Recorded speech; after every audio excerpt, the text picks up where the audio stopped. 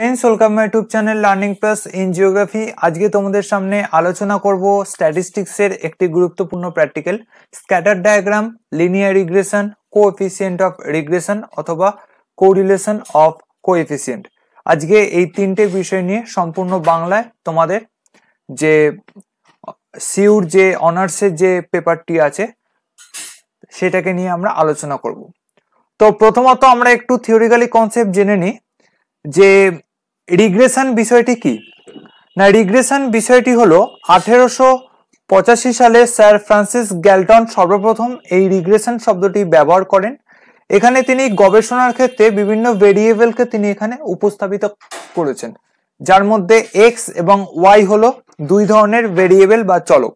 এখানে X variable independent এবং Y variable dependent হিসেবে ব্যবহৃত হয়, অর্থাৎ একটি স্বাধীন চলক যেটিকে আমরা এক্স বলি, এবং আরেকটি হলো নির্ভরশীল চলক, যেটা হলো ওয়াই আমাদের পরীক্ষায় এই ধরনের একটি প্রশ্ন দিয়ে দেবে, যে প্রথমে থাকবে ড্র এ স্ক্যাটার ডায়াগ্রাম তারপরে থাকবে compute and draw the trend line by Li square method তারপরে থাকবে calculate the coefficient of regression তো, এই তিনটে প্রশ্ন দিয়ে একটি ডেটা দিয়ে দেবে।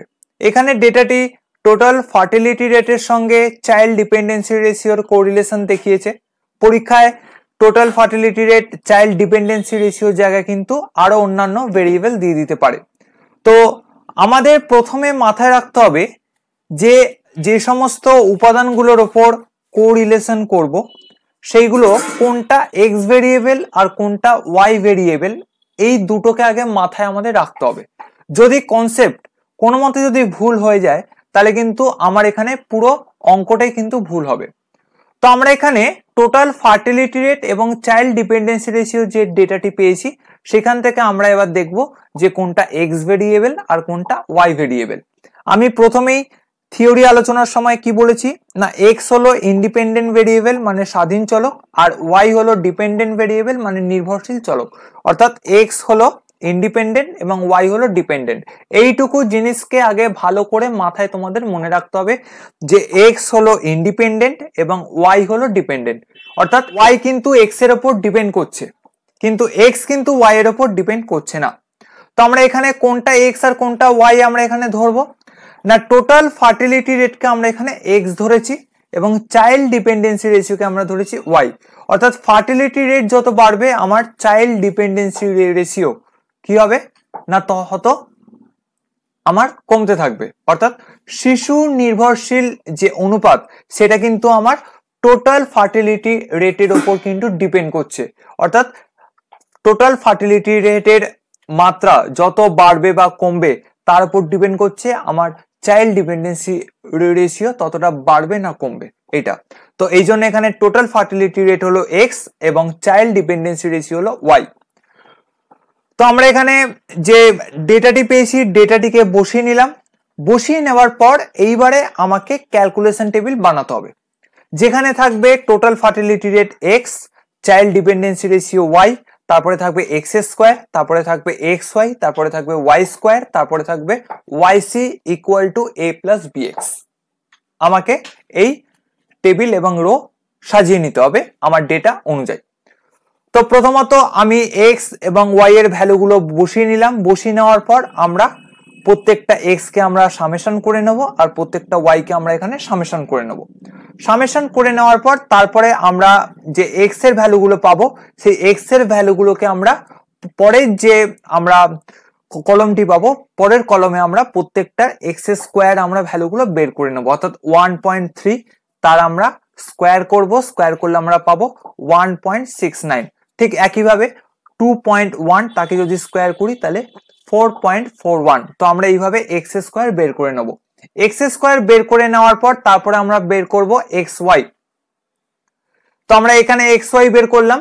এখানে এক্স এবং ওয়াই আমার এক্স আছে টোটাল ফার্টিলিটি রেট এবং ওয়াই আছে চাইল্ড ডিপেন্ডেন্সি রেশিও তাহলে এক্স আর ওয়াই যদি দুটোকে যদি গুণ করি, গুণ করে আমি যে গুণফলটি পাবো, সেটাই আমার হয়ে যাবে এখানে এক্স ওয়াই তারপরে এক্স ওয়াই এর পর পেয়ে যাব ওয়াই স্কোয়ার ওয়াই স্কোয়ার ঠিক একইভাবে যেভাবে আমরা এক্স স্কোয়ার বের করেছি, ঠিক একইভাবে ওয়াই এর যে ভ্যালুগুলো পাবো, সেই ভ্যালুগুলোকে যদি স্কোয়ার করি, তাহলে আমার হয়ে যাবে এখানে ওয়াই স্কোয়ার তো আমরা এইভাবে X square X Y Y square আমরা প্রত্যেকটা ভ্যালু এখানে বের করে নিলাম।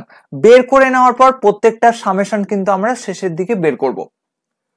তো প্রত্যেকটা সামেশন আমরা এখানে বের করলাম summation X square summation X Y summation Y square এবং আমরা আগেই সামেশন এক্স এবং সামেশন ওয়াই বের করে নিয়েছিলাম।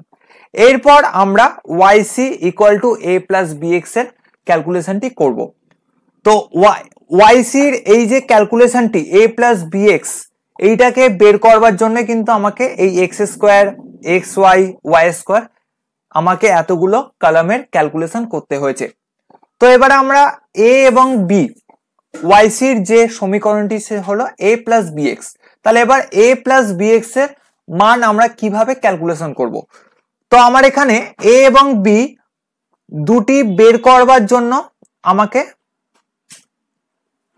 প্রত্যেকটা আলাদা আলাদা ভাবে আমাকে বে, বের করতে হবে, অর্থাৎ প্রত্যেকটার আলাদা আলাদা সূত্র আছে। তো প্রথমে যদি আমরা বি বের করি, তাহলে আমরা লিখব now the equation of B B এর বি বের করবার যে ফর্মুলা সেটি হলো summation X Y minus summation X into summation Y divided by N তারপর গোটাটার হোল আমি যদি গোটাটার হোল আমি ডিভাইডেড করলাম ডিভাইডেড করে summation Y square minus summation X তার whole square divided by N তো আমরা এই ফর্মুলাতে আমার যে টেবিলের যে ভ্যালুগুলো এসছে, সেই ভ্যালুগুলোকে যদি আমি ঠিকঠাকভাবে যদি বসাই বসি যদি ক্যালকুলেশন করি, তাহলে আমার বি এর ভ্যালু চলে আসবে সিক্সটিন পয়েন্ট ফাইভ নাইন তাহলে আমার বি বেরিয়ে গেল সিক্সটিন পয়েন্ট ফাইভ নাইন অর্থাৎ আমরা বি বের করবার যে ফর্মুলা সেই ফর্মুলাটিকে আমি এখানে বসালাম। বসানোর পর ফর্মুলা ওয়াইজ প্রত্যেকটা যে ভ্যালুগুলো আমার ক্যালকুলেশন টেবিলে যে বেরিয়েছে, সেগুলোকে আমি পুট করলাম। পুট করে যদি আমি ক্যালকুলেটারে ক্যালকুলেশন করি, তাহলে আমার বি এর ভ্যালু বেরিয়ে যাবে সিক্সটিন পয়েন্ট ফাইভ নাইন ঠিক একইভাবে আমরা বি এর মতো আমরা এ বের করে নেব। এ বের করবার যে ফর্মুলা সেটা হলো summation Y minus B summation X divided by N যদি আমরা এই ফর্মুলাটা ইউজ করি, তাহলে আমার এর যে মান আসবে সেটা হলো one point seven four four তো আমার এখানে এ এবং বি বেরিয়ে গেল। এবার এ এবং বি বেরিয়ে যাওয়ার পর আমার টেবিলে কি বলে দিয়েছে? আমার টেবিলে বলে দিয়েছে Y C A plus B X অর্থাৎ আমার এতক্ষণ এ এবং বি দুটোর মান আমার বেরিয়ে গেছে। এইবারে আমাকে এ প্লাস বি এক্সের যে ভ্যালুগুলো আছে, সেই ভ্যালুগুলোকে এইবার আমাকে ওয়াইসির যে কালামটা আছে, সেই কালামে বসিয়ে নিতে হবে। তো প্রথমত আমি এ প্লাস বি অর্থাৎ আমি এর ভ্যালু পেয়েছি one point seven four four plus B এর ভ্যালু পেয়েছি সিক্সটিন পয়েন্ট ফাইভ নাইন এবারে এক্স এবারে এই এক্সটা আমরা কোথায় পাবো? এক্সটা আমরা পাবো যে টেবিলে যে টোটাল ফার্টিলিটি রেটকে যে আমরা এক্স ধরেছি, অর্থাৎ টোটাল ফার্টিলিটি রেটের যে ভ্যালুগুলো আমার পরীক্ষার যে প্রশ্নপত্রে ছিল, আমরা এই টোটাল ফার্টিলিটি রেটকে যেহেতু আমরা ইন্ডিপেন্ডেন্ট ভেরিয়েবল হিসেবে এক্স ধরেছি, তাই প্রত্যেকটা ভ্যালু হয়ে যাবে আমার এক্সের ভ্যালু তাই আমার এ প্লাস বি এক্স অর্থাৎ এ প্লাস বি এর সঙ্গে আমার প্রত্যেকটা ফার্টিলিটি রেটের ভ্যালু গুলোকে আমি এক্স হিসেবে আমি এখানে গুণ করব। গুণ করলে আমি এখানে যে প্রথম যে আমি মানটা পাবো সেটা হলো twenty three point three one one তো আমরা এ প্লাস বি এর ক্যালকুলেশন করে twenty three point three one one এই ভ্যালুটি পেয়ে গেলাম। তো আমরা এইভাবে কিন্তু প্রত্যেকটা রোয়ের কিন্তু আমরা Y C A plus B X আমরা বের করে নেব।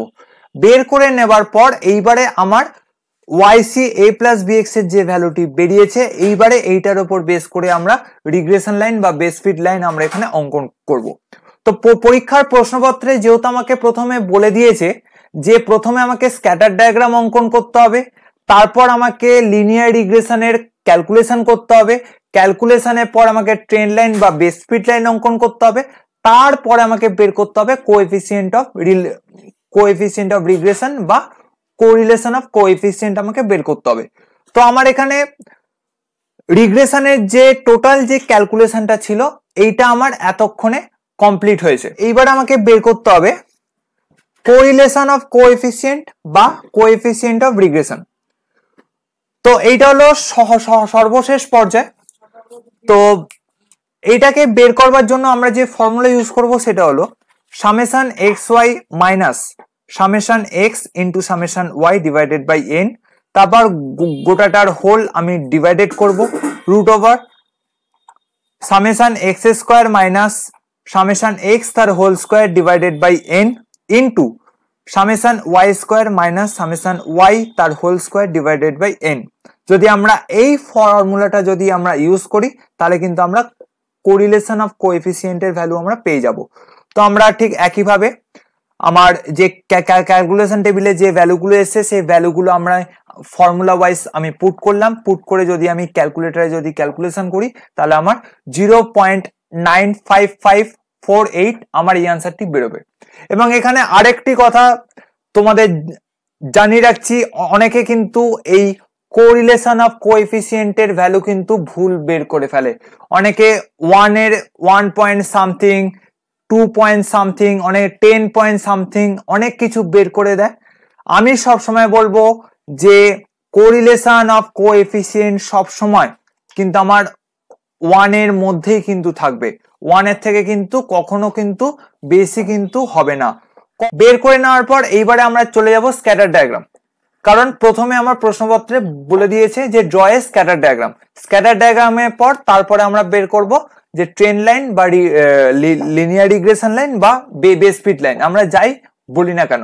তো প্রথমে স্ক্যাটার ডায়াগ্রাম অঙ্কন করবার জন্য আমাকে কি করতে হবে? না স্ক্যাটার ডায়াগ্রাম অঙ্কন করবার জন্য প্রথমত আমাকে মেন যে ডেটা টেবিলের এক্স এবং ওয়াই এর যে ভ্যালুগুলো পেয়েছি, সেই এক্স এবং ওয়াই এর ভ্যালুগুলো দিয়ে আমাকে প্রথমে স্ক্যাটার ডায়াগ্রাম অঙ্কন করতে হবে। স্ক্যাটার ডায়াগ্রামের ক্ষেত্রে কিন্তু আমার ওয়াইসি এ প্লাস বিএক্স এর কিন্তু এই যে কালামটা যেটা আমরা করেছিলাম, এটা কিন্তু স্ক্যাটার ডায়াগ্রামের ক্ষেত্রে দরকার নেই, এটা কিন্তু আমার ট্রেন লাইনের ক্ষেত্রে কিন্তু দরকার আছে। এইটুকু ভালো করে কিন্তু মনে রাখবে। তো প্রথমত আমাকে স্ক্যাটার ডায়াগ্রাম অঙ্কন করবার জন্য আমাকে ডেটা টেবিলের যে ভ্যালুগুলো আছে, সেই ভ্যালুগুলো ওয়াইজ কিন্তু আমাকে এক্স অ্যাক্সিস এবং ওয়াই অ্যাক্সিসের স্কেলটাকে কিন্তু আগে প্রপারলি কিন্তু ঠিকঠাকভাবে ধরে রাখতে হবে। আমরা এক্স অ্যাক্সিসের দেখিয়েছি টোটাল ফার্টিলিটি রেট এবং ওয়াই অ্যাক্সিসের দেখিয়েছি চাইল্ড ডিপেন্ডেন্সি রেশিও তো আমি এখানে এক্স অ্যাক্সিসের প্রত্যেকটা স্কেল নিয়েছি জিরো পয়েন্ট ফাইভ করে এবং ওয়াই অ্যাক্সিসে আমি প্রত্যেকটা স্কেল নিয়েছি টেন করে। টেন টোয়েন্টি থার্টি ফর্টি আমরা এইভাবে স্কেলটাকে নিয়েছি। এবং আমি এখানে জিরো পয়েন্ট ফাইভ এবং টেন এইভাবে স্কেল নিয়েছি। তোমরাও কিন্তু তোমার তোমাদের সুবিধার্থে কিন্তু তোমরা স্কেলটিকে পাল্টে নিতে পারো। তবে একটা কথা মাথায় রাখবে, যেমন স্কেল আমাকে এমনই একটা নিতে হবে, যেখানে কিন্তু আমার সব কটা কিন্তু স্ক্যাটার ডায়াগ্রাম কিন্তু আমার প্রপারলি ভাবে কিন্তু ধরে। এইটুকুকে কিন্তু আগে প্রথমে মাথায় রাখতে হবে। তো প্রথম ডেটাতে আমি পেয়েছি যে এক্স অ্যাক্সিসে আমার টোটাল ফার্টিলিটি রেট রয়েছে ওয়ান পয়েন্ট থ্রি তো আমি দেখব যে আমার এক্স অ্যাক্সিসে ওয়ান পয়েন্ট থ্রি কোথায় আছে। আমি দেখতে পাচ্ছি আমার এক্স অ্যাক্সিসে ওয়ান পয়েন্ট থ্রি রয়েছে এইখানে। এবং ঠিক সেম জায়গাটাতে আমি দেখব যে ওয়াই অ্যাক্সিসে অর্থাৎ চাইল্ড ডিপেন্ডেন্সি রেশিও যে অ্যাক্সিসটা আছে, সেই অ্যাক্সিসে আমার টোয়েন্টি পয়েন্ট ফাইভ কোথায় আছে? তাহলে আমি দেখতে পাচ্ছি ওয়াই অ্যাক্সিসে টোয়েন্টি পয়েন্ট ফাইভ ঠিক এই জায়গাটাতে আছে। তাহলে টোয়েন্টি পয়েন্ট ফাইভ এবং ওয়ান পয়েন্ট থ্রি ঠিক যেই জায়গাটাতে গিয়ে টাচ করছে, সেই জায়গাটাতে আমরা একটা বিন্দু বসিয়ে নিব। এই যে রেড কালারের আমি একটি এখানে বিন্দু বসিয়ে নিয়েছি। তাহলে এটা হলো আমার ফার্স্ট স্ক্যাটার ডায়াগ্রাম ঠিক একইভাবে আমরা সেকেন্ড স্ক্যাটার ডায়াগ্রামটি অঙ্কন করব। সেকেন্ড স্ক্যাটার ডায়াগ্রামে কি আছে? সেকেন্ড স্ক্যাটার ডায়াগ্রামে আছে আমার এক্স অ্যাক্সিসে টু পয়েন্ট ওয়ান তাহলে আমরা দেখতে পাচ্ছি এক্স অ্যাক্সিসে টু পয়েন্ট ওয়ান রয়েছে এইখানে। তারপরে আছে ওয়াই অ্যাক্সিসে থার্টি নাইন পয়েন্ট জিরো। তাহলে আমি দেখতে পাচ্ছি আমার ওয়াই অ্যাক্সিসে এখানে আছে থার্টি পয়েন্ট জিরো। তাহলে টু পয়েন্ট ওয়ান এবং থার্টি পয়েন্ট জিরো যেখানে গিয়ে টাচ করছে, সেখানে আমরা আরেকটা প্লট বা বিন্দু বসিয়ে নেব। এটা হলো আমার সেকেন্ড স্ক্যাটার ডায়াগ্রাম। ঠিক একইভাবে আমরা থার্ড স্ক্যাটার ডায়াগ্রাম দেখব, যেখানে আমার এক্স অ্যাক্সিসে রয়েছে ওয়ান পয়েন্ট এইট, অর্থাৎ আমরা দেখব এক্স অ্যাক্সিসে ওয়ান পয়েন্ট এইট অবস্থান করছে এই জায়গাটাতে এবং থার্টি পয়েন্ট থ্রি, যেটা ওয়াই অ্যাক্সিসে আমরা দেখতে পাচ্ছি, থার্টি পয়েন্ট থ্রি অবস্থান করছে ঠিক এই জায়গাটাতে। তাহলে থার্টি পয়েন্ট থ্রি এবং ওয়ান পয়েন্ট এইট যেই জায়গাটা দিকে টাচ করছে, সেখানে আমরা আরও একটা বিন্দু বসিয়ে নেব। তাহলে এটা হয়ে যাবে আমার থার্ড স্ক্যাটার ডায়াগ্রাম তারপরে আমরা চলে যাব, তার পরের স্ক্যাটার ডায়াগ্রামের ক্ষেত্রে। তার পরের স্ক্যাটার ডায়াগ্রাম রয়েছে ওয়ান পয়েন্ট এইট এক্স অ্যাক্সিসে ওয়ান পয়েন্ট এইট অবস্থান করছে এইখানে এবং ওয়াই অ্যাক্সিসে অবস্থান করছে যে টোয়েন্টি সেভেন পয়েন্ট সেভেন অর্থাৎ টোয়েন্টি সেভেন পয়েন্ট সেভেন অবস্থান করছে এইখানে। তাহলে আমরা এইখানে একটি বিন্দু বসিয়ে নিলাম, এটা হলো ফোর্থ স্ক্যাটার ডায়াগ্রাম তাহলে এইভাবে আমরা প্রত্যেকটা স্ক্যাটার ডায়াগ্রাম অঙ্কন করে নেব এক্স এবং ওয়াই যে ভেরিয়েবলের যে ভ্যালুগুলো আছে, সেই ভ্যালুগুলোর রেসপেক্টে আমরা এগারোখানা এক্স এবং ওয়াই ডেটা অনুযায়ী আমরা স্ক্যাটার ডায়াগ্রাম এখানে প্লট করে নেব। স্ক্যাটার ডায়াগ্রাম প্লট করে নেওয়ার পর এইবারে আমাকে অঙ্কন করতে হবে বেস ফিট লাইন বা লিনিয়ার রিগ্রেশন লাইন অথবা আমরা এখানে বলতে পারি যে ট্রেন লাইন তো এইটাকে অঙ্কন করবার জন্য এইবারে আমাকে y c equal to a plus b x এর এই কালামটার প্রয়োজন আছে। তো এইখানে আমরা কোন কোন ভ্যালুগুলোকে নেব? ট্রেন লাইন বা রিগ্রেশন লাইন অঙ্কন করবার জন্য। অনেকে যে ভুলটা করে সেটা হলো অনেকে ওয়াইসির প্রথম ভ্যালুটা নেয় এবং সব শেষের ভ্যালুটা নেয়। কিন্তু কেউ দেখে না যে কোনটা হাইয়েস্ট আছে আর কোনটা লোয়েস্ট আছে। তাই কিন্তু সেক্ষেত্রে কিন্তু রিগ্রেশন লাইন যে অঙ্কনটা, সেই অঙ্কনটা কিন্তু অনেকে ভুল করে ফেলে। তো এখানে একটা সহজ সরল যে নিয়মটা হলো, সেটা হলো যে আমার ওয়াইসির যে ভ্যালুগুলো আমার এখানে রয়েছে, সেখানে হাইয়েস্ট ভ্যালু এবং লোয়েস্ট ভ্যালু এই দুটোকে দেখতে হবে। তো আমি এখানে দেখতে পাচ্ছি যে twenty three point three one one হচ্ছে সব থেকে লোয়েস্ট ভ্যালু আমার, আর sixty eight point one zero four হলো আমার সবার হাইয়েস্ট ভ্যালু তাহলে আমরা এই দুটো ভ্যালুকে নিয়ে কিন্তু আমরা বেস ফিট লাইন অঙ্কন করব। তো কীভাবে অঙ্কন করব? না, আমরা এখানে দেখতে পাচ্ছি যে আমার twenty three point three one one আমার যে ওয়াইসির যে ভ্যালুটা রয়েছে, তার আমার এক্স ভেরিয়েবলে রয়েছে ওয়ান পয়েন্ট থ্রি তাহলে আমরা দেখব যে one point three x variable কোথায় আছে, আমরা দেখতে পাচ্ছি one point three x variable এখানে আছে।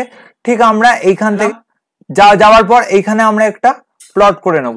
প্লট করে নেওয়ার পর ঠিক একইভাবে আমরা দেখব যে highest value sixty eight point one zero four আমার কোন এক্স এক্স ভেরিয়েবলে অবস্থান করছে? আমরা দেখতে পাচ্ছি এটা অবস্থান করছে ফোর যেখানে আমার এক্স রয়েছে ফোর সেখানে অবস্থান করছে sixty eight point one zero four তাহলে আমরা দেখব যে যেখানে আমার এক্স আছে ফোর তাহলে আমরা সেইখানে আমরা আস্তে আস্তে আমরা ওয়াই ভ্যালুটাকে নেব, নিয়ে আমরা দেখতে পাচ্ছি এখানে অবস্থান করছে sixty eight point one zero four তাহলে আমরা এখানে আরও একটি বিন্দু বসে নিলাম। তাহলে আমার twenty three point three one one এই বিন্দুটির সঙ্গে sixty eight point zero sixty eight point one zero four এই বিন্দুটিকে আমরা একটি স্কেল দিয়ে আমরা জয়েন করে নেব। এটাই হলো আমার বেসফিট লাইন বা রিগ্রেশন লাইন অথবা আমরা বলতে পারি ট্রেন্ড লাইন তো আমরা এইভাবে রিগ্রেশন লাইন অঙ্কন করলাম। রিগ্রেশন লাইন অঙ্কন করে নেওয়ার পর আমার ওয়াইসির যে ইকুয়েশনটা ছিল এ প্লাস বি এক্স আমরা এখানে এর ভ্যালু এবং বি এর ভ্যালু ইন্টু এক্স আমরা এখানে যে সমীকরণটা, অর্থাৎ যেই প্রদত্ত সমীকরণের মাধ্যমে আমরা ওয়াইসির যে ভ্যালুগুলোকে বের করেছিলাম এবং সেই সমস্ত ভ্যালুর হাইয়েস্ট এবং সেই সমস্ত ভ্যালুর যে লোয়েস্ট ছিল, তার উপর বেস করে যে আমরা যে ট্রেন লাইনটা অঙ্কন করলাম, সে, তার যে সমীকরণটা আছে, সেই সমীকরণটিকে আমরা এখানে বসিয়ে নেব। বসিয়ে নেওয়ার পর আমরা কোরিলেশন অফ কোএফিসিয়েন্ট অর্থাৎ আর এর যে ভ্যালুটি আমরা বের করেছিলাম, সে আর এর ভ্যালুটিকে কিন্তু আমরা এখানে লিখে দেবো। লিখে দেওয়ার পর আমরা এর একটা সুন্দর একটা হেডিং দিয়ে দেবো। যেখানে scatter diagram showing the correspondence between the total fertility rate এবং চাইল্ড ডিপেন্ডেন্সি রেশিও আমার ডেটাতে যে যেই ভেরিয়েবলগুলো দেওয়া থাকবে তার উপর বেস করে আমাকে হেডিংটি লিখতে হবে এবং এখানে আমরা একটি লিজেন্ড দিয়ে দিয়ে দেবো যেখানে লিজেন্টে এই যে বিবিন্দুগুলোকে আমরা দেখিয়েছি অবজার্ভ পয়েন্ট হিসেবে এবং আমরা যে এই যে লাইনটা যেটা এঁকেছি এটা হলো আমাদের ট্রেন্ড লাইন তো আমরা এখানে দেখিয়ে দেবো এবং আমরা স্কেল এখানে লিখে দেবো। আমরা হরিজেন্টাল স্কেল নিয়েছি one centimetre to zero point five unit এবং ভার্টিক্যাল স্কেল নিয়েছি আমরা one centimetre to ten percent তো আমরা এইভাবে নিয়ে কিন্তু আমরা স্ক্যাটার ডায়াগ্রাম ট্রেন্ড লাইন বা বেস ফিট লাইন এবং কো এফিসিয়েন্ট অফ রিগ্রেশন বা correlation of coefficient কিন্তু আমরা করতে পারি। এবং করে নেওয়ার পর এর একটা সুন্দর কিন্তু আমরা এখানে ইন্টারপ্রিটেশন করতে পারি। ইন্টারপ্রিটেশনের ক্ষেত্রে এখানে একটা কথা মাথায় রাখতে হবে। আমরা যে স্ক্যাটার ডায়াগ্রামে যে এক্স এবং ওয়াই যে ভ্যালুগুলো ছিল তার রেসপেক্টে আমরা যে প্রত্যেকটা যে বিন্দুগুলোকে এখানে প্লট করেছি। এই বিন্দুগুলো কিন্তু, এই যে বেস ফিট লাইনের কিন্তু দুই দিকে কিন্তু আমরা দেখতে পাচ্ছি যে সমানভাবে কিন্তু বন্টিত হয়েছে। আমরা ইন্টারপ্রিটেশনের মাধ্যমে কিন্তু একটা সুন্দরভাবে কিন্তু একটা এখানে ব্যাখ্যা আমরা এখানে লিখতে পারি। তো আমরা এইভাবে আমরা রিগ্রেশন স্ক্যাটার ডায়াগ্রাম এবং কোএফিসিয়েন্ট অফ রিগ্রেশন কিংবা কোএফিসিয়েন্ট কোরিলেশন অফ কোএফিসিয়েন্টের কিন্তু আমরা প্র্যাকটিক্যাল কিন্তু আমরা এখানে সুন্দরভাবে কিন্তু করতে পারি।